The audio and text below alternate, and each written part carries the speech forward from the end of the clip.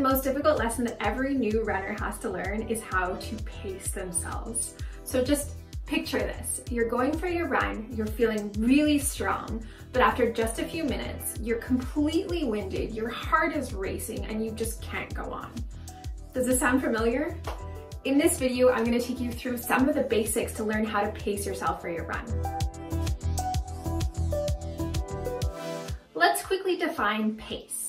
Your pace is basically your speed when you're running. It's the number of minutes it takes to complete a kilometer or a mile. You'll see it expressed as 630 minutes per kilometer or 1030 minutes per mile. Your average pace would be the average of this pace over your entire duration. So regardless of if you started fast and finished slow, this is the average of your whole run.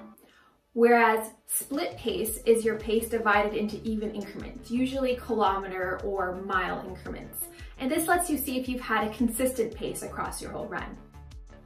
Now that we've defined pace, I'm going to tell you to ignore these numbers, at least for now.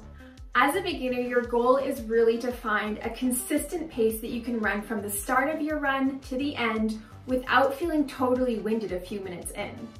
And to find this, we need to take a little bit of time to find the sweet spot of an easy, steady pace. And because everyone's easy pace is different, rather than looking at numbers, we're going to concentrate on how you feel during the run. And there are two ways that we can do this. The first method is related to your breathing. Now, often a easy pace is referred to as a conversational pace. And what that means is that you should be able to carry on a conversation during your run. You should be running slowly enough that you can make complete sentences without gasping for air between every word.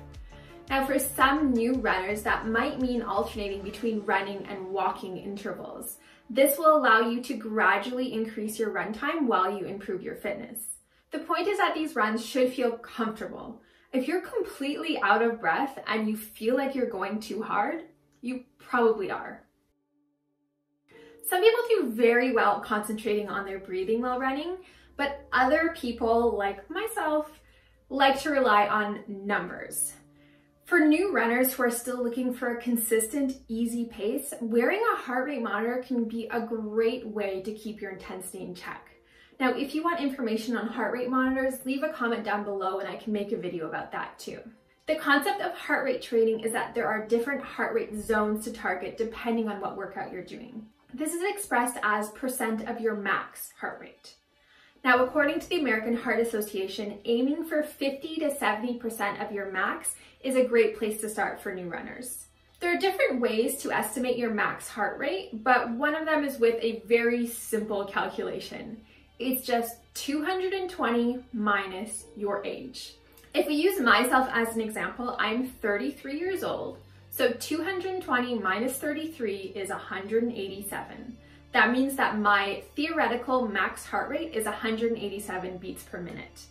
Now, if I want to target 50 to 70% of this max, I would be looking at a 93 to 131 beats per minute for an easy pace. There are two things to keep in mind if you're using heart rate to gauge intensity. The first is that over the course of your run, your heart rate is going to gradually increase as you get more tired.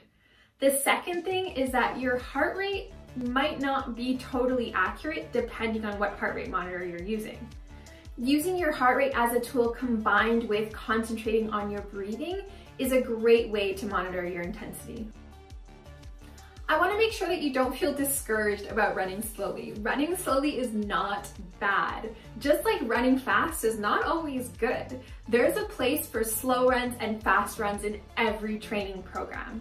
Slow runs are an integral part of building up your fitness and making sure that you don't get injured. A lot of elite athletes run something like 80% of their runs at a slow, easy pace and only 20% of their runs at a high intensity. Not every single run has to be done at your max intensity. That's it for this video. I hope you found this useful. I hope this helps you find a consistent pace. If you did find this useful, please hit the like button down below. As always, please subscribe so you can see my new content. Otherwise, I'll catch you in the next one.